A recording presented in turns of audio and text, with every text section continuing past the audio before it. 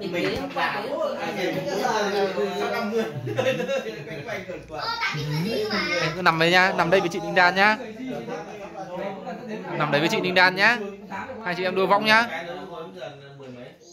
mấy rồi? Giờ lên lớp mười rồi. Nó tại đây. thứ hai. Đua nó nặng ra. hai mươi nhá Kệ, cứ đua đi. Đua đua nhẹ nhàng thôi. nhanh mẹ về nhanh mồm mình nhanh giả mẹ rồi sắp đi sân với cả từ 50 trở đi nó bắt đầu nó đổ đổ mình nhanh lắm. Wow.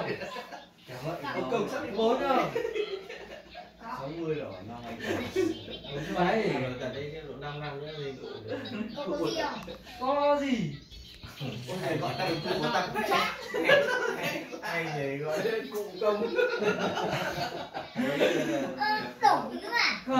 không trong đổi chứ nằm rẻ chưa hết thấy cái giả như